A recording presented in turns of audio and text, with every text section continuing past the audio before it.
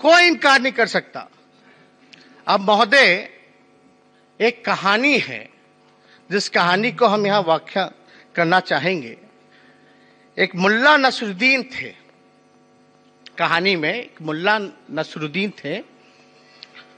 वो एक kilo meet जो है बाज़ार से खरीद के लाए।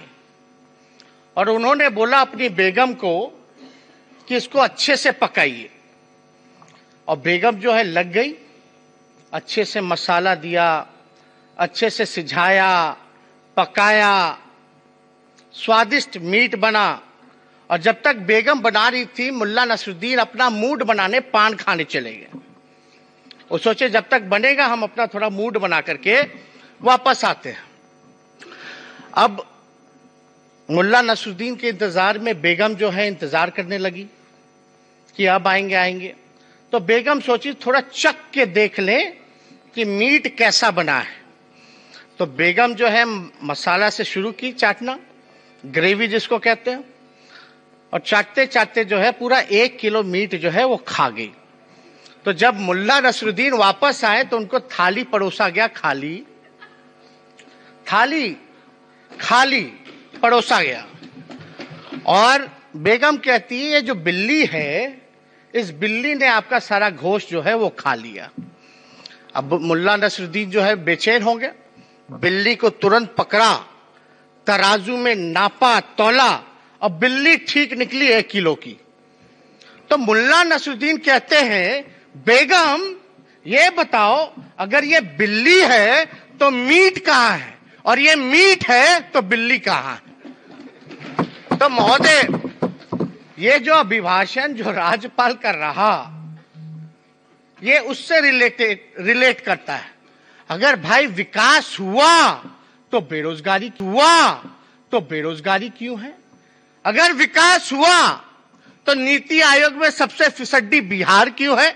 अगर विकास हुआ क्राइम रुका तो डेली अपहरण, हत्या, लूट, बलात्कार क्यों हो रहे हैं महोदय? क्यों बेरोजगारी का केंद्र बना? क्यों किसान तबाह है? क्यों हमारा संविधान खतरे में है? क्यों लोकतंत्र खतरे में है? क्यों अस्पतालों की स्थिति जो है वो सुधरती नहीं है महोदय शिक्षा का स्तर बद से बदतर हो जा रहा अगर विकास हुआ तो तो बिहार की जनता सब समझ रही है और जान रही है कि कौन किसको बेवकूफ़ बनाने का काम कर रहा है महोदय अब हम कहना तो नहीं चाहते, लेकिन राज्यपाल जी को यह कहना चाहिए था, या जो पूरे बिहार का मानना है कि इस सरकार में महोदय, नीति, नियत, नियम, नैतिकता और न्याय का घोर अभाव है महोदय। ये सच्चाई है। और मुझे तो बिहार सरकार महोदय मुख्य बधिर लगते हैं। बिहार सरकार लाचार, परेशान, असहाय हमको बिहार सरकार लगता है। जो ना बोल सकती है, ना देख सकती है, ना सुन सकती है और ना हाथ पैर हिला सकती है। ये सच्चाई है महोदय बिहार की, जो सरकार की है।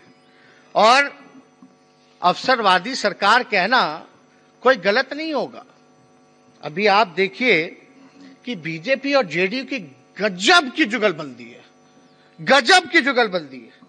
हम तो सारा रिसर्च करके आए हैं एक एक एविडेंस अपना हम नहीं बोल रहे। आप ही लोगों का बोल रहे, आपकी जुगलबंदी को लेकर के बोल रहे महोदय। और ये अवसरवादी सरकार है, और हम इसको प्रमाणित करेंगे महोदय। ये सिर्फ़ और सिर्फ़ स्वार्थ के लिए एकजुट है महोदय सरकार में। और कुछ नहीं, केवल स्वार्थ है। बस। ललन जी। उनका बयान है, बिहार में भाजपा के साथ गठबंधन परिस्थितिवश है। अब क्या मायने निकाला जाए भाई? परिस्थितिवश है। गोपाल मंडल जी कहते हैं कि ट्रैक्टर से दारू बेचते हैं जदयू के सांसद।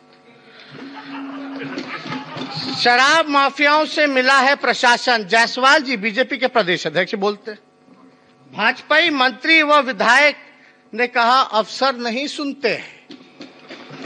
पैसे से ट्रांसफ़र हुए, मंत्रियों के घर छापे पड़े तो करोड़ों मिलेंगे। कहा गए ज्ञानू जी? ज्ञानू जी का।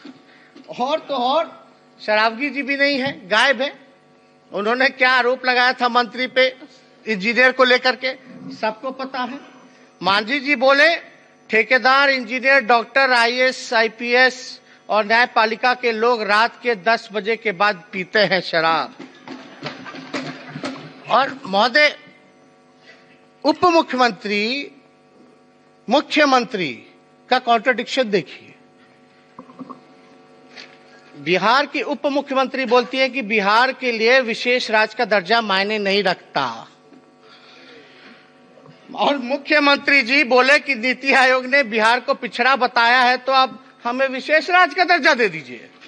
मतलब कैसे सरकार चल रहा है? अद्भुत है। कल्पना से पड़े है। और हम तो ये भी सुने, मुख्यमंत्री जी ने बोला, अगर कोई लोग ऐसा बात बोलता है कि बिहार को विशेष राज्य का दर्जा नहीं चाहिए तो वो अज्ञानी लोग हैं। यानी अपने ही मुख्यमंत्री को, आप जो है उप मुख्यमंत्री को अज्ञानी बता रहे तो भाई कैबिनेट में आपने क्यों बना के रखा है? उप मुख्यमंत्री क्यों बना के रखा? ये तो आपको बताना पड़ेगा। क्या जुगलबंदी है, बॉस?